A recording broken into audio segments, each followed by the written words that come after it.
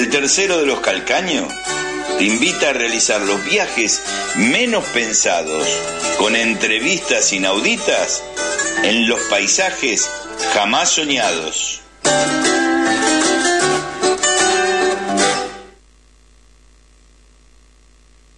Estamos reunidos en un importante campo de batalla de esta guerra. Hemos venido a destinar una porción de este campo como lugar de último descanso para aquellos que dieron aquí sus vidas. Es plenamente oportuno y apropiado que hagamos tal cosa. Pero en un sentido más amplio, no podemos dedicar, no podemos consagrar, no podemos santificar este terreno. Los valientes hombres vivos y muertos que aquí lucharon ya lo han consagrado muy por sobre lo que nuestras escasas facultades pueden añadir restar. El mundo apenas notará o recordará por mucho tiempo lo que aquí se diga, pero jamás podrá olvidar lo que ellos hicieron en este sitio. Somos más bien nosotros, los vivos, quienes debemos dedicarnos a, la tarea inconclusa que los que aquí lucharon hicieron avanzar tanto y tan noblemente. Somos más bien los vivos, quienes aquí debemos abocarnos a la gran tarea que aún resta ante nosotros. Que de estos muertos a los que honramos se extraiga un mayor fervor hacia la causa por la que ellos entregaron hasta la última y más grande medida de devoción.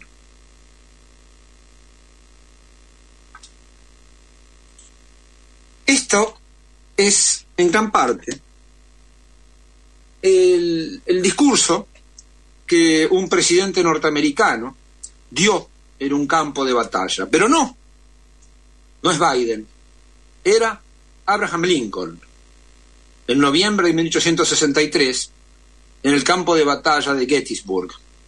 Allí, donde el sur esclavista y rural, pues ambas cosas van juntas, fue detenido después de tres días de una feroz pelea. Hubo entre el ejército de la Unión y el ejército confederado en total 53.000 bajas. Eso significa muertos, heridos y desaparecidos en el combate. 53.000 bajas en tres días, que es un total más grande que las bajas de ambos ejércitos el día del desembarco de Normandía, el 6 de junio de 1944, con un total estimado de 40.000 muertos, heridos o desaparecidos, la mitad de ellos civiles que habían perecido en los bombardeos previos al desembarco en Normandía. Por supuesto, la operación Overlord, que así se llamó el desembarco en Normandía, es una de las operaciones logísticas más importantes jamás realizadas. Logró juntar la flota con mayores barcos en toda la historia, cerca de 4.200, y atacar en un lugar de Europa, de Francia, donde los alemanes no los esperaban tanto. Una gran hazaña militar. De hecho, es el principio de la batalla de Normandía, que culminará solo con la liberación de París, a fines de agosto de 1944. En esa, en esa campaña Normandía, una, una, batallas horribles, porque en Normandía había muchos setos que eh, eran murallas de piedra que dividían los campos de los diferentes propietarios, por lo cual era muy difícil a los aliados poder desplegar todo su potencial en aviones y en tanques. Claro, para los escasos oficiales letrados del ejército aliado, si habían leído lo que había sido la guerra de la Revolución Francesa en ese mismo terreno, sabían a qué atenerse. Fue un soldado, un simple soldado, sargento para más señas, que se le ocurrió poner al frente de, un tanque Sherman como, como, una especie de pinchos entonces eso le permitía al tanque romper los setos, pasar a través de los setos y no en las rutas donde los, eh, alemanes los esperaban en emboscadas. En esta, en esta campaña de Normandía, que duró, como decimos, del 6 de junio al 30 de agosto, eh, hubo entre 400.000 bajas aliadas y, no, entre, perdón, en 230.000 bajas aliadas y 400.000 bajas alemanas. Los aliados perdieron 4.100 aviones y como 4.000 tanques. Los alemanes, además de perder 450.000 soldados, perdieron 2.100 aviones y más o menos 2.200 tanques. Ese es el tamaño enorme de la batalla de Normandía, conmemorada hace poco. Pero empalidece, empalidece ante la magnitud de lo que fue la Gran Guerra Patriótica o la Segunda Guerra Mundial peleada por la Unión Soviética contra la Alemania nazi. Para la sola batalla de Stalingrado, los rusos tuvieron un millón y medio de bajas, muertos, heridos, desaparecidos. Y los alemanes cerca de 400.000, es decir, la misma cantidad que en toda la campaña de Normandía. Nada más que esta batalla de Stalingrado duró 200 días y no dos meses. En la batalla de Stalingrado los rusos frenan a los alemanes. Stalin había dado la orden, ni un paso atrás. Ya está. El tiempo de la tierra, y como diría el general Chuikov, el tiempo ahora será sangre. Y ahí se consumió el sexto ejército alemán, la unidad más poderosa de toda la Wehrmacht. El 3 de febrero de 1943, Stalingrado estaba liberado. La bandera roja flotaba en el almacén Unimog. Univermag, perdón. Los alemanes se retiraban pero no estaban vencidos.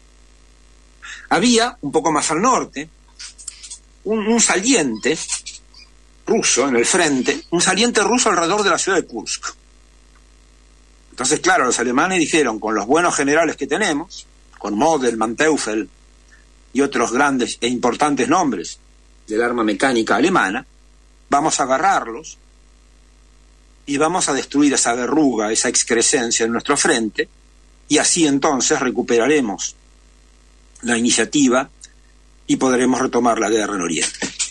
Fue la batalla de Kursk. Posiblemente la batalla más grande y más importante que se haya librado jamás en la historia. Duró del 5 de julio al 23 de agosto del 43, parecido en tiempo a la campaña de, de Normandía. Los rusos pusieron dos millones de soldados en campo de batalla. Los alemanes eran casi un millón. Fue la batalla de tanques más grande de la historia. Cinco mil tanques rusos contra cuatro mil tanques alemanes. Y en realidad se encontraron de casualidad. Pero hay que imaginarse lo que era ese carrusel sangriento con los tanques alemanes de última generación como los Panther, que querían parecerse a los T-34, con los tanques pesadísimos como los Tiger, ese que hizo, que dio sangre, sudor y lágrimas a los aliados en Normandía, con el Ferdinand, que era un cañón autopropulsado que pareciera de la OTAN. Y sin embargo, los T-34, más chiquitos, más rápidos, más veloces, les pasaron por arriba. Fue una batalla defensiva, los rusos se dieron cuenta, que rápidamente los alemanes iban a tratar de infligirles una gran derrota, y durante los meses anteriores al inicio de la batalla fortificaron sus líneas. Es lo que se llama la defensa activa de los rusos, algo en el cual les ha ido bien desde Napoleón, y que ahora podemos observar en los campos de batalla de Ucrania. Cuando atacan los alemanes, apenas logran progresar de decenas de kilómetros. No pueden avanzar. Tenían que tomar en tenaza, tenían que hacer 300 kilómetros, cada ejército alemán, uno al sur, otro al norte, para poder encontrarse y no pudieron. Había tres, cuatro líneas de defensa rusas, todas preparadas, en las cuales los soldados no se retiraron. Por eso, los rusos perdieron prácticamente la mitad de los soldados, un millón de, muertos, heridos o desaparecidos. Para los, para los soviéticos también los alemanes perdieron por lo, mil, por lo menos 500.000 personas entre muertos, heridos y desaparecidos. 1.500 tanques, 3.000 cañones de artillería, 3.700 aviones. Las pérdidas de los alemanes fueron colosales. Las de los rusos también fueron importantes. Pero la diferencia es que Stalin podía contar con las fábricas que había desplazado en los Urales, que le daban ininterrumpidamente pertrechos. También podía contar con la ayuda de los aliados, y en especial Estados Unidos, que mandó muchos camiones esenciales. Pero los rusos fueron los que pagaron el precio de la sangre. Y en Kursk se rompe la iniciativa nazi. Ahí, a partir de Kursk empieza la misión de salvar al soldado Ryan. Perdida la, iniciativa para los nazis en el frente oriental, en el momento en el cual los aliados desembarcan en Normandía, los rusos ya liberaron Stalingrado, se están acercando a Estonia, ya liberaron Kiev también, están peleando en los pantanos del Pripat. En el sur ya liberaron Odessa y se están acercando a la frontera con Rumania, con Hungría, con la propia Prusia. Ya están cerca de Brest-Litovsk, donde comenzó todo, un día el 21 de junio de 1941. Por supuesto, todavía faltará mucho tiempo por supuesto, habrá mucha sangre que ha corrido. Pero es el ejército rojo el que detuvo en Stalingrado a la bestia nazi. Es el ejército rojo el que rompió el ejército alemán en la batalla de Kursk. Y es el ejército rojo del que va a alargar a partir de junio hasta agosto del 44 la operación Bagration. Esa la operación es la invasión, mejor dicho, la liberación de Alemania de los nazis. Para eso prevén dos millones y medio de soldados contra un millón de soldados alemanes, tres mil tanques contra 800, 1.500 cañones contra 500, 25.000 piezas de artillería contra 10.000, 5.000 aviones contra 1.000. Ya está, la balanza ya se había inclinado. Cuando efectivamente, y lo vemos muy bien en la película del soldado Ryan, Marshall se da cuenta que hay un Ryan que ya perdió tres hermanos. ¿Cómo? En una carta de Lincoln también refiere la muerte de otros tres hermanos. En la guerra de secesión lo manda a buscar. Por suerte lo encuentran, bueno, ya sabemos la película, etcétera. Ya la conocemos. Pero la patrulla que salió a buscar al soldado Ryan salió de Kursk. Se llamaba Ejército Rojo. Tuvo 500.000 muertos en esta última operación, Bagration. Como los alemanes querían desfilar en Moscú, los rusos les dieron ese gusto y en julio de 1944 100.000 prisioneros alemanes desfilaron por las calles de la capital soviética. Desde entonces, aquellos que dieron la última medida de compromiso, 27 millones de rusos, han sido borrados de la memoria de Occidente. A los franceses, cuando les preguntaban en 1945 gracias a quién se había ganado la Segunda Guerra Mundial, el 60% decía la Unión Soviética y solo el 20% los norteamericanos. Y hoy es exactamente la inversa. Hoy son los Estados Unidos los que ganaron. De Gaulle no era muy atlantista ni otanista, por lo que, si bien se festejaba y se conmemoraba el desembarco, no tenía la misma importancia que hoy.